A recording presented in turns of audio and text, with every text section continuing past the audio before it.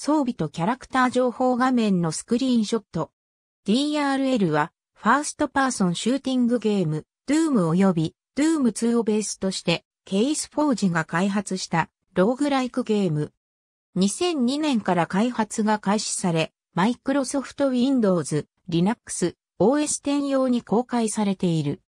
Doom の商標所有者であるゼニマックスメディアからの提出通知を受けて、2016年にゲームの名称が DRL に変更された。DRL はターン制であり、ASCII 文字のみで構成されたトップダウン型のインターフェースを提供し、特性を持つキャラクターのレベリングシステムを備えている。Doom をベースとしているため、このゲームはローグライクゲームとしては通常よりもテンポが速く戦闘志向であり、近接戦闘ではなく遠距離戦闘に大きく依存している。限られたプレイヤーのインベントリ、積み重ね不可能なアイテム、及びその他のデザインの選択は、このジャンルのゲームに多く見られる、極端な複雑さと対照的である。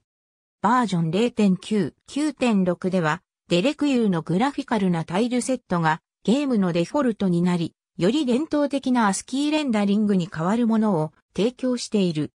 DRL には、Doom の全サウンドセットとミュージックライブラリーが含まれており、オプションで高品質の MP3 をサポートしている。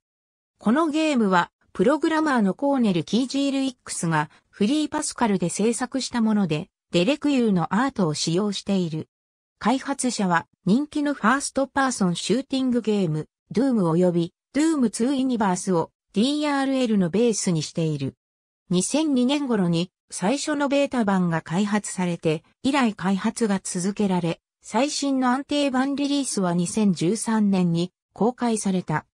2016年12月2日、キージール X はゼニマックスメディアからゼニマックスが世界中で商標登録しているゲームのウェブサイトと名前に存在するワードマーク、Doom の使用について停止通知を受け取った。ゲーム名から Doom を除外するために2016年12月7日にタイトルを単に DRL と変更した。さらに2016年12月6日にキージール X が本作をオープンソースにした。停止通告を受け取る前はキージール X は同じアセットを使用したデュムルの続編ジュピターヘルのキックスターターで進行中のクラウドファンディングキャンペーンの終了時に支援者へのお礼としてデュムルをオープンソースとして公開することを予定していた。通知により、彼は予定を前倒しした。ソースコードは GPLv2 の下で GitHub を介して利用可能になり、ゲームのアセットは CC by SA ライセンスの下で利用可能になった。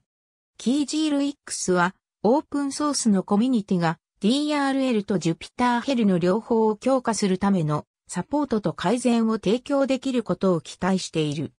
例えば、携帯型端末オペンパンドラへの DRL のコミュニティ総推植は3日後に行われた。2014年、ピークゲイマーは DRL を2つのクラシックの見事なマッシュアップと表現し、今すぐ無料でプレイできるファンによる最高のクラシックリメイク10選に選んだ。ありがとうございます。